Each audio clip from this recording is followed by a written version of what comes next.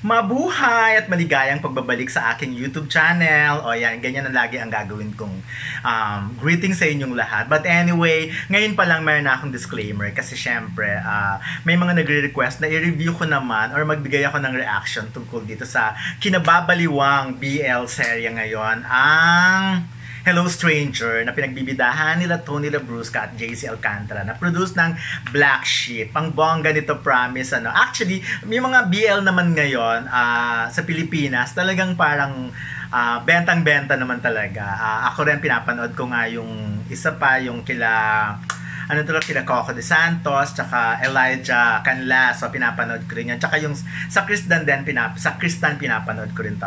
Yun, pero ito nga kasi may mga nag-request na magbigay ako ng reaction. At syempre, pero bago yan, um, yun nga, disclaimer ko, ah, dedicated to para sa mga kapatid ko sa LGBTQ plus community na um, kinikilig din dito. At syempre sa mga straight na rin na naiintindihan ang nararamdaman ng mga miyembro ng LGBTQ community plus. Yun na. So sa again, kung gusto niyo mag uh, kung gusto niyo manlait, nasa inyo po 'yon. Pero ako talaga dead ma ako sa mga panlalait. Basta ito dedicated to sa mga kapatid ko sa LGBTQ community plus. Ayan, panoorin niyo muna to ah, kasi bongga ito. Kaloka, promise guys. kinilig ako ah. Oo. Anyway, marami kasi nagre-request na parang magbigay ako ng reaction dito sa uh, Hello Stranger na pinagbibidahan ni ano ni Tony Labrusca and JC Alcantara. At yun na nga pinanood ko tong episode 4. Actually from episode 1 naman napapanood ko siya. Pero iba kasi tong episode 4 eh kasi parang may pang-aakit portion na tong si Tony, kay JC, at parang ko, kahit sabihin pang dream sequence lang yon may kaharutan talaga, di ba? Parang, parang, ay nako, confirm, confirmado talaga. Um, badikla ang lola nyo. Hindi, knows ko naman yung matagal na. But anyway, ayun nga, di ba, painit ng painit ngayon sa Pilipinas ang ano, no, ang ganitong klase ng genre na lalaki sa lalaki ang mga bida. So, hindi ako nagtataka kung parami ng parami ng parami. Nagkataon lang. Nauna na sila JC at Tony. Pero syempre, may mga na, mas nauna na rin. Na, kinikilig, nakikinig din ako sa kanila. Pero kasi talaga to, di ba? Parang ang harot-harot ni Tony, parang ngayon, alam mo na kung paano niya akitin talaga ang mga Becky. At itong si JC, parang feeling ko, nagiging Becky na talaga siya, no? Yung nagkakaroon na siya ng feelings talaga for Tony. So, uh, so lagi ko tuloy abangan to every Wednesday. Basta yun, na. Uh, super kilig ako dito sa dalawang to. At mukhang sana, um, mabigyan sila ng project na magkasama talaga. Pero, I'm sure naman yung iba dyan hindi mabibetan kasi nga parang naloloko sila. Bakit ganon? Lalaki sa lalaki na mga pida. Ay nako, sisihin natin din ang mga ang tide doon sila si Win Meto Win tsaka si Bright, di ba? Si Sarawat, ang local si Sarawat at si Tyne ng Thailand. Pero yun na basta na o, o di ba parang ano, kung titignan mo kung ka, galing ka outsider ka talaga, hindi ka for example, hindi ka taga showbiz, talagang parang maniniwala ka. Ang galing-galing nung parang pagkaka-connect-connect ng mga eksena. Actually nagagalingan akong artista kay JC Alcantara. Um, sa, di ba si JC kasi medyo matagal na rin siya sa showbiz sa ABS-CBN. Sinabi niya yon nung ni-launch sila ng Star Magic. So, at actually um, nilaunch siya dati, tapos nawala siya, tapos eto bumabalik na naman. Tapos parang ngayon, na-hit niya yung ano ko, ano yung bagay sa kanya. I'm not saying na bading siya kaya bagay sa kanya ang BL ah, serya. Pero ah, ang galing-galing niya, parang yung character niya na parang innocente, virginal, at wala pang alam sa mga ganyan. Carry niya, bagay na bagay sa uh, bagets or sa kanya. So, at um, imaginein mo, ah, trending si Miko dahil dyan. So, ang kay ang ang galing talaga ako. Ewan ko, eto pinakatama talagang reaction. Isa to sa mga nagustuhan kong reaction. Um, sabi niya, sabi ni Ash Gonzalez, My lips suddenly reach my ears as Xavier watched Miko sleeping not knowing that Miko is also glancing at him. Talagang ako din, habang pinapanood ko yon bigla akong napapangiti na lang. Tapos kakaramdam ako ng kilig promise, not for anything else. Ah. Uh, I mean, di ba? Ang sarap-sarap kayang kiligin sa mga panahon. Huwag na kayo mag-inarte, no? Pwede yan, kiligin kayo nga Diyos ko, kung kinikilig kayo sa babae sa babae, or lal- kiligin din kayo sa lalaki sa lalaki. Pero hindi ko naman sinasabing, ano, uh, in, um, Kaya nga sabi ko, dedicated to sa LGBTQ plus community at sa mga straight na nakakaintindi ng ganitong sitwasyon.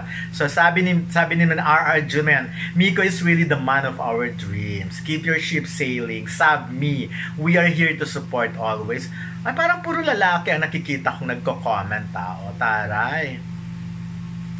Bakit kaya? Sabi ni Aga, if Miko doesn't wanna date Kukay, then I can date her instead. O yun. Oo nga, medyo kawawa yung character ng girl na yon tapos ito pa, oh. Tapos may, may mga interaction din. Alam nyo, marunong din kasi maglaro yung Tony tsaka Miko. Talagang um, hindi lang sa telese, sa BL series sila na nagpapakilig. Pati ano, sa Twitter world, kung magpalitan silang chika. At katulad sabi ni JC Alcantara, ikaw pala yung baby eh. Kasi nga di ba matatakotin siya dun sa, takot siya sa multo. Tapos sabi naman ni Tony, I got top energy though. SK, SK, SK, SK. Bring it on, sabi ni JC. Di ba? Taray nila, oh.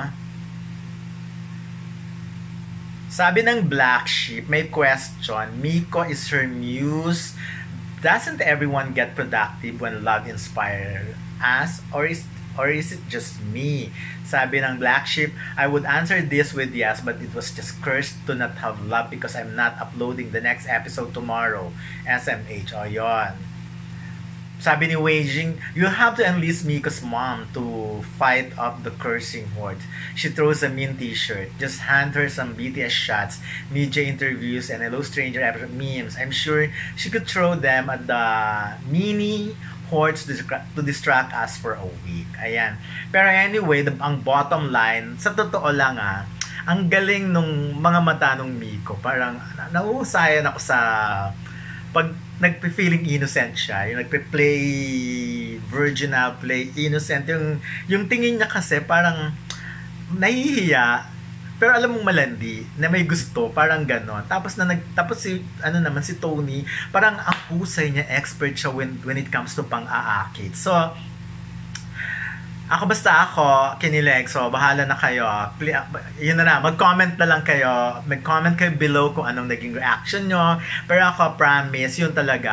Ako, hindi ako masyadong delikado sa mga ganitong teleserye. Lahat naman kasi pinapanood ko. Eh. Lahat naman ng pelikula pinapanood ko. At ngayon na lang uli ako nakakapanood at, ng mga ganito. Kasi nga sa, at sa YouTube pa, sa online pa Buti nga wala pang mga kissing scene tong dalawa eh. Kasi 'di ba sa sacristan meron na silang kiss. Tapos doon naman sa isa um, sa Game Boys, well, uh, ano pa lang sila, parang, di pa sila nagkikite, puro, puro ganun pa lang, pa-cute, pa-cute, kasi mga bagets eh, si Elijah kan last bagets. Pero eto, feeling ko, magkakaroon to ng matinding eksena na ikakaloka ng mga manonood or ng mga fans nila. So yun na muna for now. Again and again, please tuloy lang po natin ang pag-subscribe sa aking YouTube channel at sana ay patuloy kayong mag-comment para at least malaman ko kung ano yung nararamdaman nyo.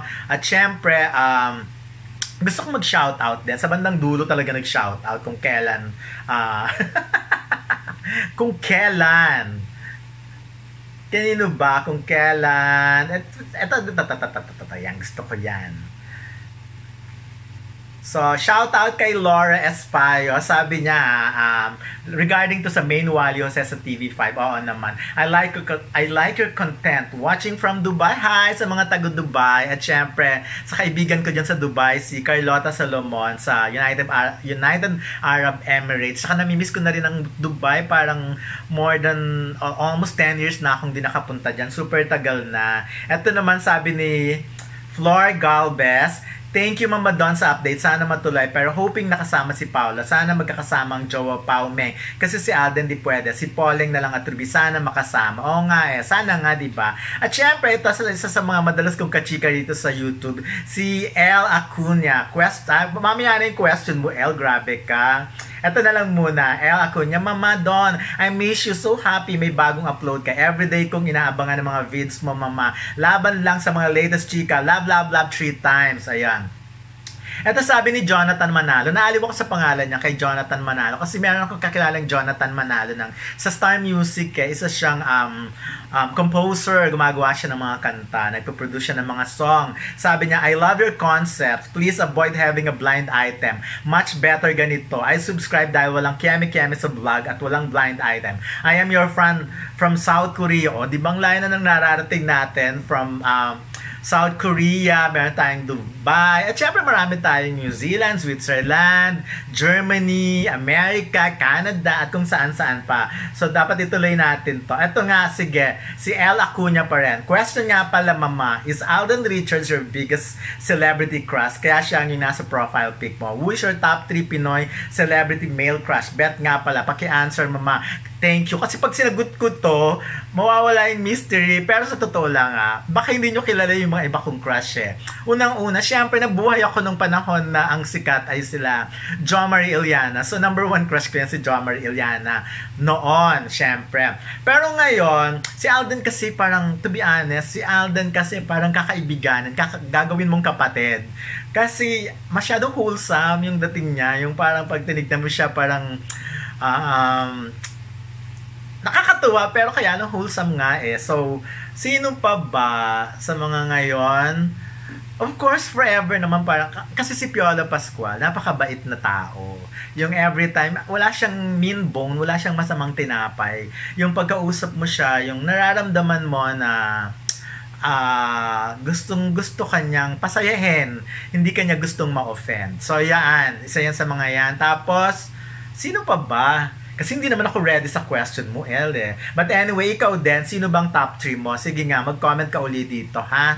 O, yun na lang muna for now, and bye-bye! See you soon! Bye-bye! Continue sana, tuloy-tuloy lang ang pag-subscribe. At syempre, uh, i-click yung notification bell para every time may upload ako, uh, malaman nyo na agad. So, yun na lang muna for now. Bye-bye! See you soon!